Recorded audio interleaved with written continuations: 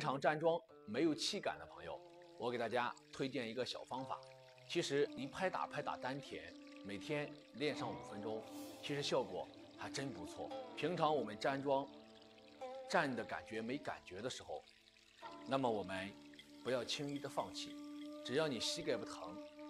胯呢不后坐就可以。然后呢，你就可以拿了两手呢，通过揉按丹田。大家，这个揉按丹田是怎么做呢？你比如说，两手放在肚脐下方丹田处，你感觉丹田是一个球，然后呢，球不要动，你让两手呢在球上由右上左下、右上左下去画圈，或者再由左上右下去画圈，直到你用双手把你的丹田搓热了，然后你手才能停止下来。第二步。就用你的丹田由左上右下、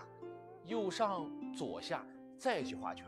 那么画完之后，你就会发现你刚才假想的那个丹田的球，它就真实存在了。那么这个方法呢，在我们春节过年之前，每天练上五分钟，您呢安安静静，您可以试一试，真的非常不错。站桩就要练习